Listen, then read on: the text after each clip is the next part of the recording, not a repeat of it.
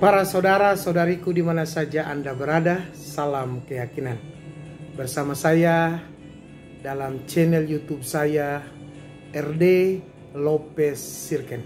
Jangan lupa like, komen, subscribe, dan klik lonceng agar bisa bersama-sama dengan saya di akhir pekan ada dalam permenungan kitab suci.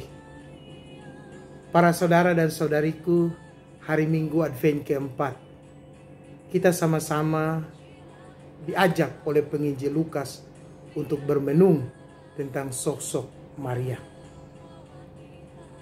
Maria adalah manusia biasa, sama seperti kita. Ia lahir dari orang tua Yohakim dan Ana. Dan ia juga berjuang hidup seperti manusia pada umumnya. Para saudaraku, di mana saja Anda berada, Minggu Advent keempat, gereja mengangkat sosok Maria untuk kita bermenung bersama. Di hari Minggu Advent keempat, di mana kelahiran Sang Immanuel semakin dekat. Percakapan antara utusan Allah, malaikat Gabriel bersama Maria untuk menerima tugas mengandung dan melahirkan anak Allah. Maria memberikan sebuah pertanyaan. Bagaimana mungkin saya bisa mengandung? Saya belum memiliki suami. Malaikat Gabriel menjawab, anak yang akan kau kandung adalah anak Allah. Para saudaraku, pada akhirnya Maria tiba pada satu pernyataan, aku ini hamba Tuhan, terjadilah padaku menurut kehendak. Para saudaraku di mana saja Anda berada. Kita orang Katolik sering berdoa bersama Bunda Maria.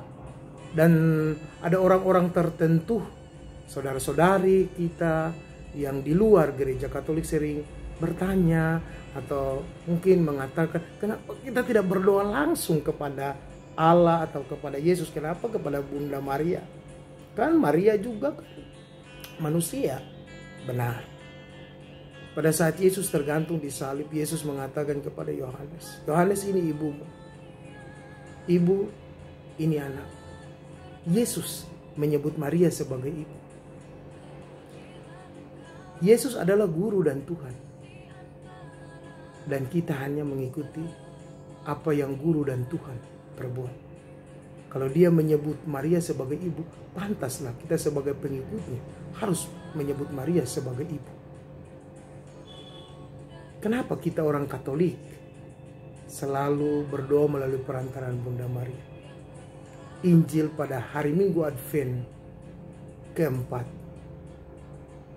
Penginjil Lukas menceritakan tentang kunjungan malaikat Gabriel. Pada bulan ke-6 malaikat Gabriel mengunjungi Maria. Para saudaraku di mana saja Anda berada. Ketika kita diperhadapkan dengan persoalan Bunda Maria, kenapa Bunda Maria seakan-akan Maria di atas dan Yesus di bawah? Kenapa kita tidak berdoa langsung kepada Yesus atau kepada Allah? para saudara, salam Maria, penuh rahmat, Tuhan sertamu. Salam Maria, penuh rahmat, utbe Maria nimaten relam. Salam Maria, penuh rahmat.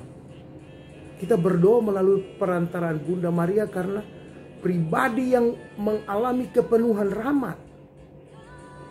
Total. Jadi ketika kita berdoa melalui perantaraan Bunda Maria, kita mengambil bagian dalam kepenuhan rahmat itu. Salam Maria penuh rahmat Tuhan sertamu. Tuhan enob oh yang menyertai Maria adalah Tuhan. Bukan siap-siap. Jadi ketika kita berdoa melalui perantaran Bunda Maria, kita berdoa kepada Tuhan yang menyertai karena lebih dekat. Per Mariam a Yesus. Melalui Maria kita sampai kepada Yesus. Utbe Maria ni maten ram Tuhan enov o mu berkata livet pat bisa enov ebum yanam Yesus ni berkat. Salah Maria penuh rahmat Tuhan sertamu. Terpujilah engkau di antara wanita dan terpujilah buah tubuhmu Yesus. Maria adalah tabernakel Allah. Maria adalah tahta Allah.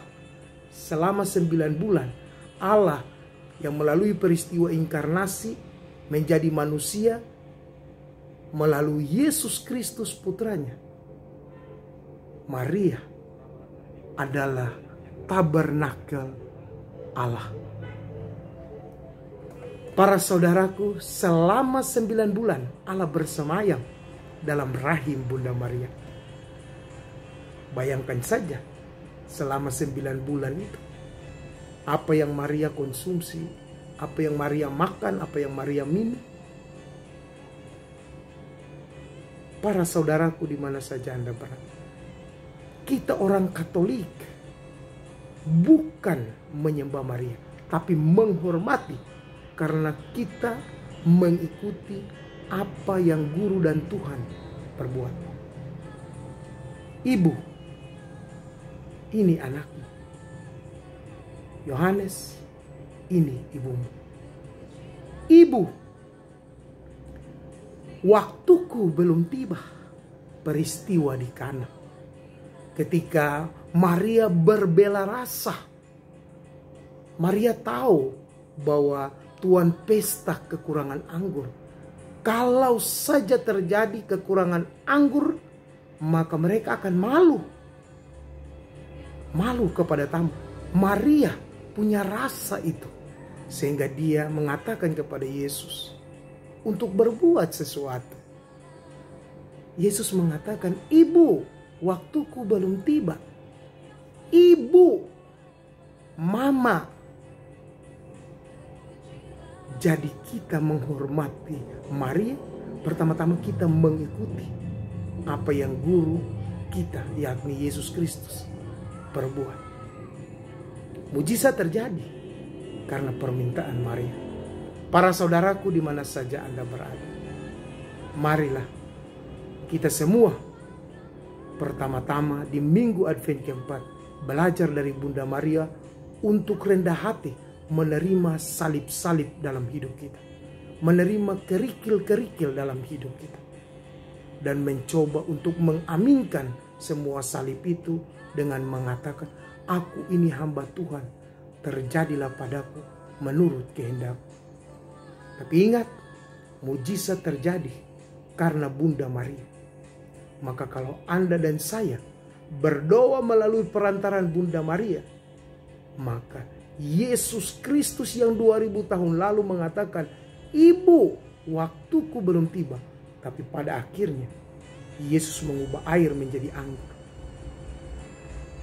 Marilah di dalam setiap persoalan hidup Anda. Kalau Anda ingin mujizat, datanglah bersama Maria kepada Yesus. Di sana ada mujizat. Per Mariam ad Yesus. Selamat memasuki hari Minggu Advent keempat.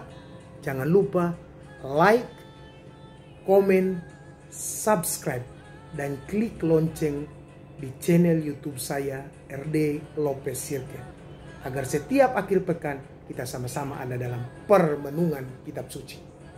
Dan jangan lupa bergabunglah dalam kelompok WA Group sehari bersama kitab suci. Kita sama-sama setiap hari akan membaca satu teks kitab suci, satu ayat kitab suci. Lalu kita sama-sama akan berdiskusi dari tiga penanya. Selamat malam, Tuhan Yesus memberkati. Jangan lupa klik lonceng untuk mengikuti channel RD Lopez Sirken. Salam keyakinan.